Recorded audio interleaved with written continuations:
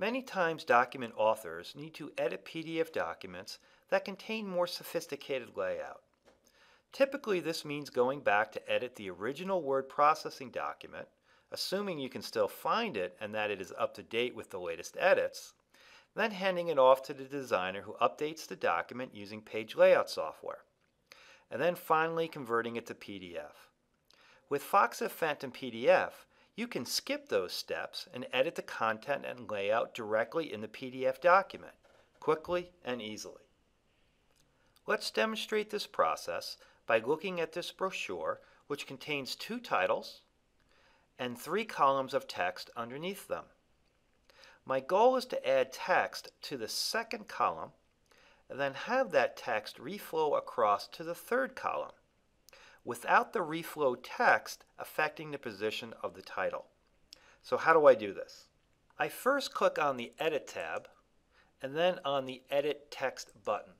You can see the Phantom PDF has identified three text blocks with the first and the third block containing the two titles. Next, I want to split the text in the third text block to exclude the title. To do this, I click on the Link and Join text button. Then I click on the text block. And then finally, I click on the Split button, which splits the text block up into the title and the two individual paragraphs. Now I want to join together the two individual paragraphs in the third column together without including the title. To do this, I click on the two text blocks to join, then I click on the Join button to join them together. The last step is to link the three columns together so that text reflows from the first column through the second and onto the third. To do this, I click on the text blocks to link together. Then I click on the Link button. Now I can add a new sentence into the second column and the text will reflow across to the third column. I can do this by first closing the Join and Link tab, and then click on the Edit Text button.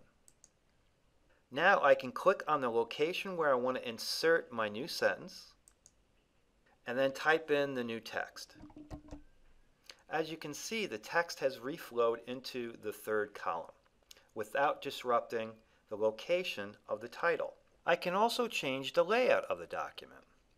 I can increase the margins of a text block by putting the cursor over the square on its edge and then expanding or contracting the size of the text block. I can also move the text block by putting the cursor over the text block's edge and then dragging and dropping it to its new location. If you need further assistance editing PDF documents, please contact Foxit Support 24 by 7.